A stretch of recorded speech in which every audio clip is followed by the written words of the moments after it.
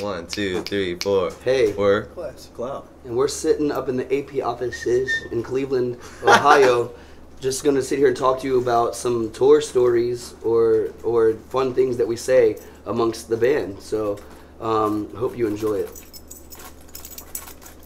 Stage. Let's talk about how we lost our scrims because we were we in Ohio? because of our own mistakes. There, there was a part towards the end of our set where we were just kind of like, all right, this is it. Don't get scared now. and so we let we wanted people to know that we're in bands, but we're warriors too. So just let it be known. Right. Exactly. And basically, we had these things called scrims. And if you don't know what scrims are, it's the big, uh, like six by six things you put on stage. It's basically say your band name In And- front of your amps. In front of your amps, you know they're cool, I guess. And uh, and towards the end of our set, I would just we would just start grabbing them and throwing them out in the crowd. And um, and they're pretty big to lose because they're like usually like six by six, like six feet by six. Well, usually we had our road dude would jump in after them and get them for us. Yeah, but we we lost one, so we don't use them anymore. Yes. Somebody folded it up, put it under his shirt, and walked out. Yeah. Yeah, they did. We So had look another. We had another instance where we were playing in. Uh, what was that? S- Was it Salt Lake City or something? Oh, Salt Lake. When Josh got and tackled. Josh. Josh. was- Somebody wanted to tackle Josh. Yeah, Josh. Bill someone- Goldberg style. someone got down losing three-point some weight at the time, so he's really light on his feet. And this kid, really small kid, jumps up on stage and tackles him like just. Not like not like f you Joshua Travis, but like oh, hell yeah, this is a awesome. hell yeah tackle. He was, Yeah. he was definitely stoked He was about stoked. A hell yeah But our- Bill Goldberg spear. Our whole set is run on our computer, and the computer, if that skips, all hell breaks loose. So the computer goes flying past me. Like, I'm playing drums, the shit just goes flying past me. I'm like, well, it's over. It's a wrap. Basically, we went out. We went out like the next week and, and had like a custom case made for the computer so it doesn't fall off stage, because we, we rely on backing tracks and, and click tracks and, and stuff like that. So now we got that. But it still skips. It still skips. Oh, we just play through it. we just hammered through it. Jerry. What's up? your S's. S's. What about them? Just because I can't say my S's. Say the slithering snake. The slithering snake. uh, yeah, I think sometimes it's funny when people slip up and they do the whistle lisp. Mainly Matthew McConaughey because he does it a lot in movies. I can't even watch a movie with him because every three minutes, every three minutes, he's saying something with a with whistle lisp, and that's funny to me.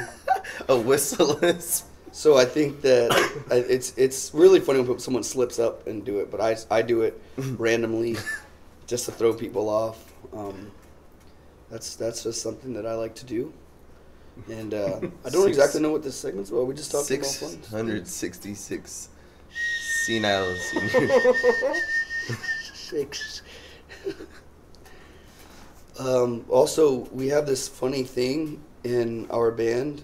It actually originated at Berkeley. It's called Cy Fields, and it's um, is a bass player, right? But uh, Al, No, a keyboardist. Keyboardist. Oh, yeah. I don't know shit. Our friend, me and Chad's good friend from school, Al Cleveland, put us onto it. It's basically like when you say something and get either like shut down or someone like talks over you or something. And I guess he when he plays, he does like a. So if someone says something and then and then it doesn't really work out, you're just like, oh, like you go to the bar. To And don't mind me. Yeah. You, you go to a bar to order a drink for a girl, and she goes, "No, my, my boyfriend's on his way over." And you go, "Oh, go, oh. yeah. or or you're like, uh, a, a fan's like, hey, can I get a picture? And then they give you the camera. Yeah. I said, oh, we They said, "Oh, I didn't know you were in the band." Oh, oh, oh I'm not. Oh, you're in the band? Oh. Gotcha. Cool. We, we also do this thing. It's basically mimicking a seagull. We call it caw because if there's I someone, thought it was a hawk. well, the hawk stream is different. Yeah, the, The seagulls, they- 'cause they cause steal everything. Because that's what seagulls do. Wow, Yeah, this whole seagull- time I thought it was a hawk. Yeah, that's different. Hawks don't steal; they take. Yeah. They they They take. what take. want. They don't steal. They take. Yeah, they they're not stealing your food. They're taking no matter what, and your arm if you try to stop.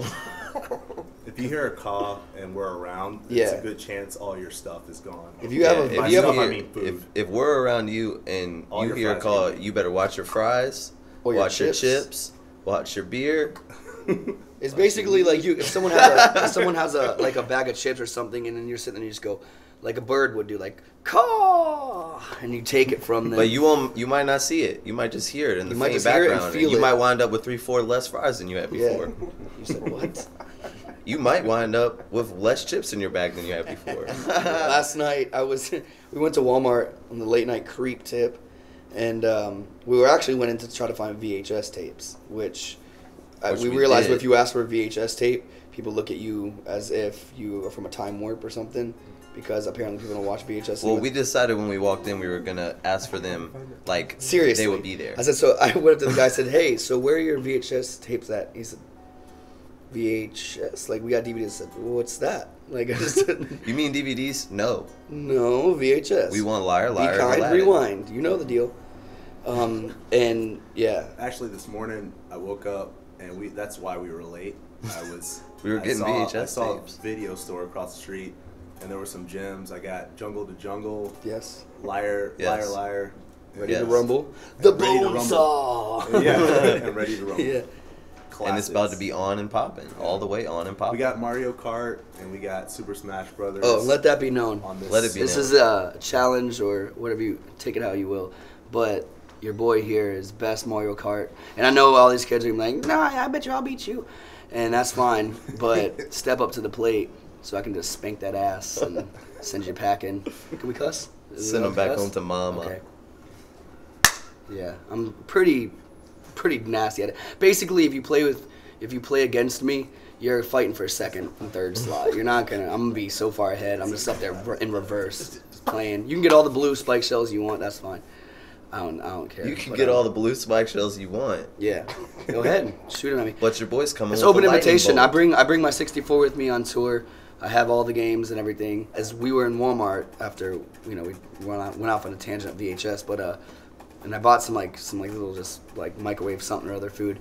And I walk in, you know, and there, whenever you pull up at a, a gas station on tour, you know, your van and trailer, we all get out, we look like shit, and um, so he's like, "Oh, you guys a band?" You know, and it's always like, "Yeah," and and it's and it's, especially for a band like ours, trying to explain like the heaviness of our band is uh, basically this how it went down. So you guys a band? Uh, yeah, yeah. Can I use your microwave?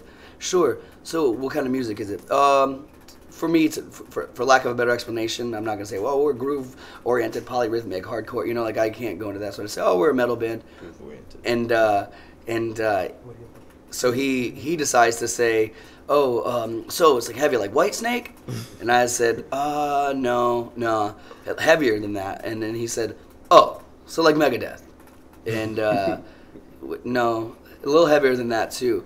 And then he responded, "Well, how is that possible? Because those are the heaviest bands on the planet." So um, I thought it was funny. I just don't even begin to. Well, I normally I can say, well, our guitarist plays a nine-string guitar. So if that doesn't sum it up for you, I don't know how to how else to say it. You know, we chug, chug, chug. You know, it's it's um. You know, because normally it's you know you're, if you're in the Midwest, it's like well I listen to Disturbed, so I know what heavy music's like. You need to tell me, and I'm like, oh, Not okay. Ohio.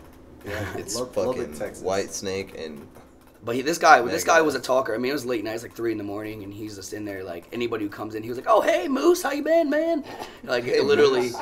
And then, remember when he said he'll stand up to the trucker? Yeah, he he said, "I don't care if you're a trucker, I'll stand up my toes against you." To one of the truckers because he, my toes against his. the, the, the trucker came in and said, "You got my cigs, man?" he said, "What?" He said, "The red label." He said, "I'll take ten of them." He bought ten packs of cigarettes, so he's good, and uh, so he's good. He'll be all right. He'll be good for a day or so, and, uh, and yeah, yeah. It's always it's always fun the late night uh, truck stop encounters with um, the Hills Have Eyes crowd of the world.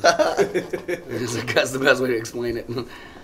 um, as far as inside jokes, I, I mean, we got a lot, but I just don't. I mean, it's hard. It's like people say like, "Oh, you say funny things." Like we came in here, they're like, "You guys have a lot of sayings," and I'm like, "Well, it's like telling me like."